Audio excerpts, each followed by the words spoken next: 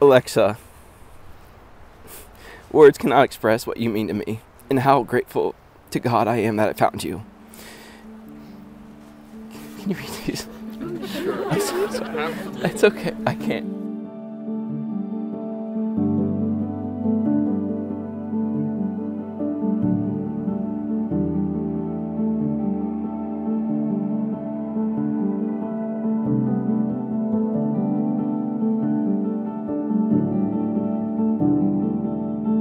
You have made me into the man I am today. You have taught me patience, how to express emotions, and how to have fun in a small town in PA in the middle of February.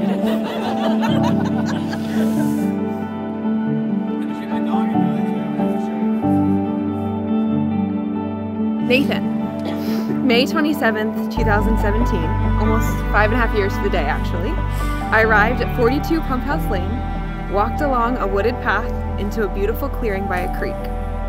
Little did I know this was the first spot I would lay eyes on you, on the love of my life. The very spot we are standing in together today.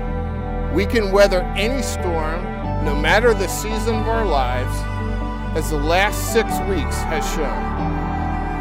I have found my forever partner. With you in my life, I could never be lonely again.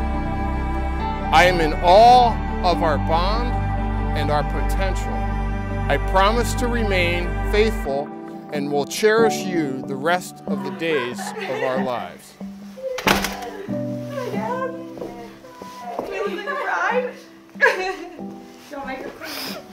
It's beautiful. I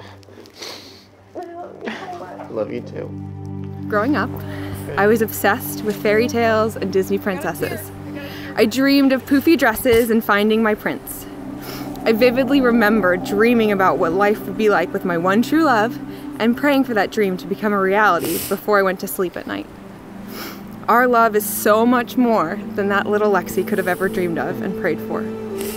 Thank you for the greatest love story. You are my happily ever after.